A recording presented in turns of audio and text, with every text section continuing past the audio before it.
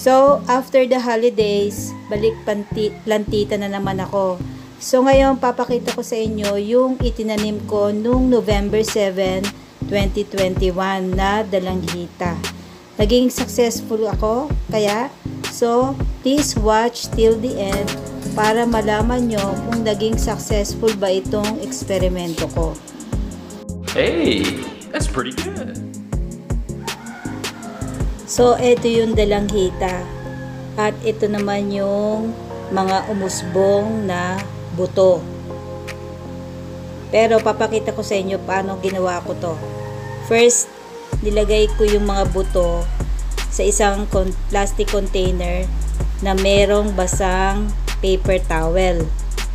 And then, from time to time, winiwisikan ko ng tubig yung paper towel and sinisilip-silip ko.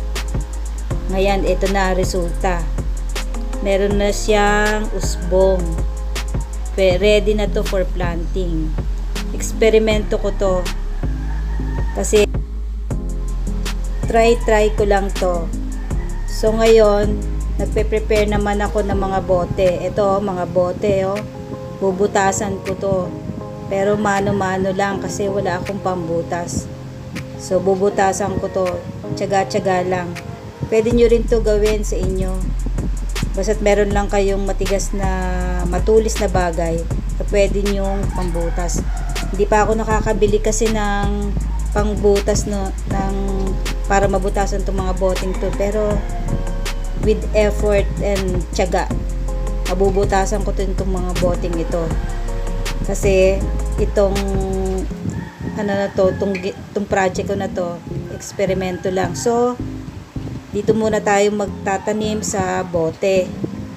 Ayan, butas-butas lang. Tsaga-tsaga. So, eto na ngayon ang resulta ng mga bote na binutasan ko.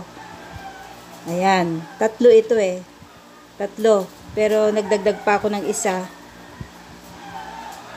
Baka sakali para sa pa- pagpa-plant ko nung, ah, nung mga ano, seeds, no?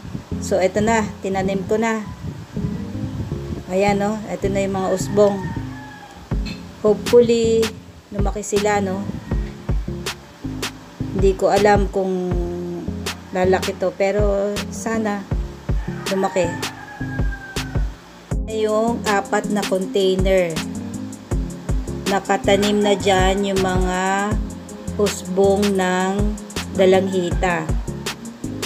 Hopefully, lumaki siya. Eksperimento ko lang. Nakikita nyo to yung mga itlog na to. Lalagyan ko yung itinanim kong buto ng dalanghita para sa nourishment na kailangan.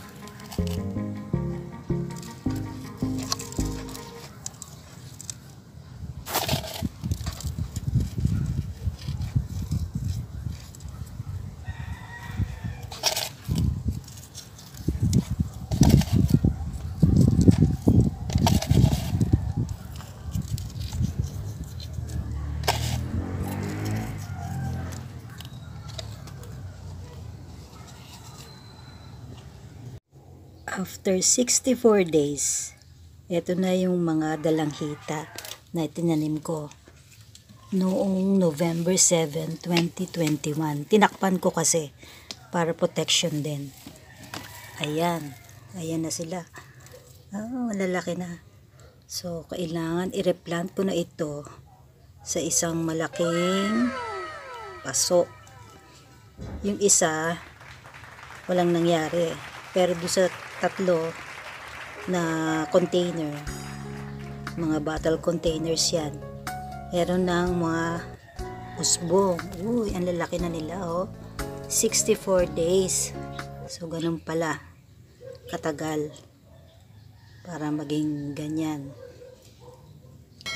And, for protection, ito na nga, nilagyan ko ng, ng ito, itong cover para maprotektahan siya. And ang pagdilig ko dyan, every two days.